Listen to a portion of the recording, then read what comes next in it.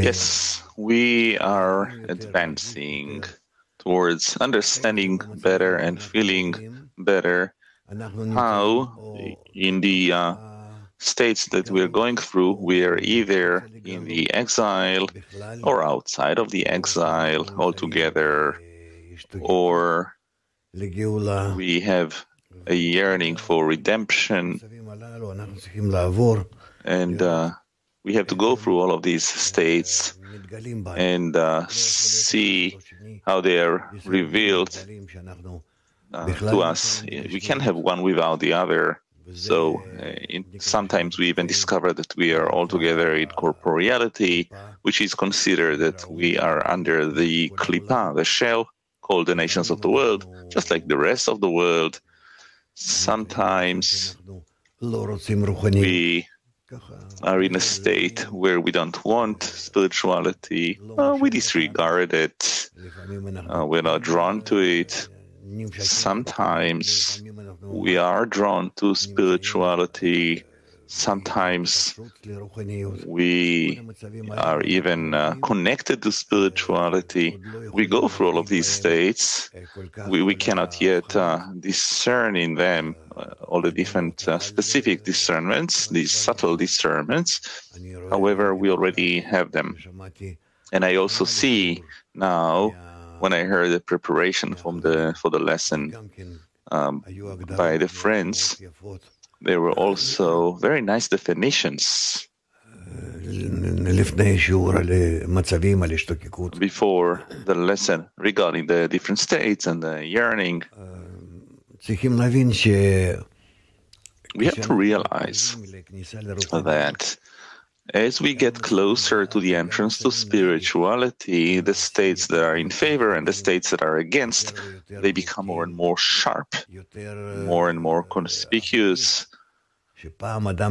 Also, opposite, that one time a person is in a state where it seems to him that he was never as far as he is now. But we have to understand that this is how he feels it, because uh, he's actually getting closer, so he feels that even this small distance, now he feels it as a great distance. And this is why we should not determine the situation just according to the feeling, but also with respect to what, with respect to whom, when, how? is one determining it. And it's also very important for us to see how much we can determine these uh, states according to our yearning for the Creator.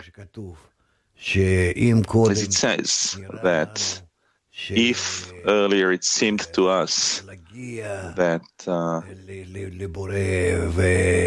reaching the Creator, this is uh, the purpose, or as he as he writes, that specifically the yearning, the desire to reach it, the lack, then becomes uh, the most important, and we enjoy the fact that we're yearning, that we want to reach the one that we uh, love that is uh, the group and through it the creator and this inclination this uh, longing as it says uh, only uh, good and mercy shall chase uh, after me. This is what uh, fills us up now.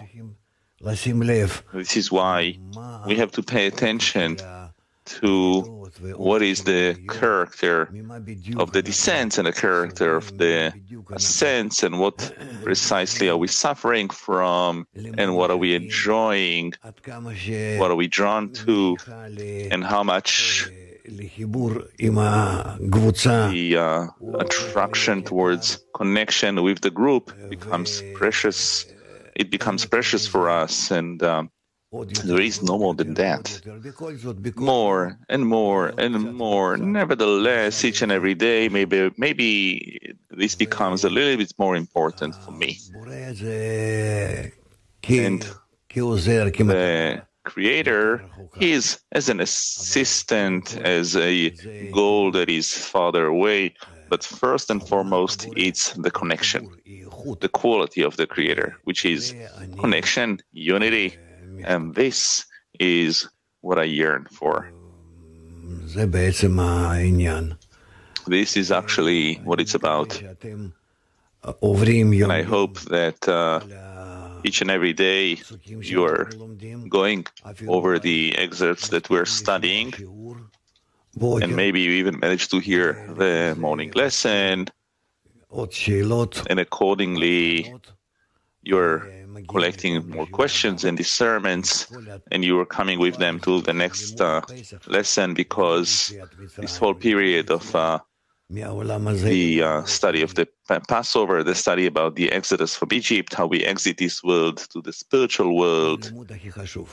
It is the most important study. It's the foundation for the whole spiritual process. So, in all the processes that we later uh, go through, we say in memory of the for the exodus from Egypt. It is all based on the discernments of uh, rising above the will to receive to the will to bestow, from disconnection to connection. And uh, if so, let's go for the excerpt and then continue.